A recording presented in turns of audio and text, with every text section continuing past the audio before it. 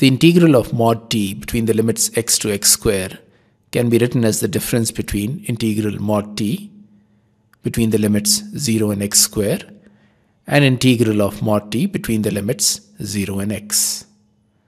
Therefore, i can be broken into two components.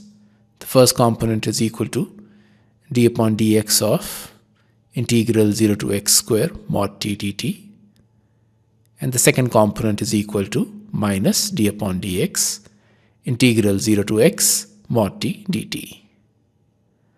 The first term is equal to the integrand mod t with t replaced by x square times the derivative of the upper limit x square and the second term is equal to minus the integrand with t replaced by x.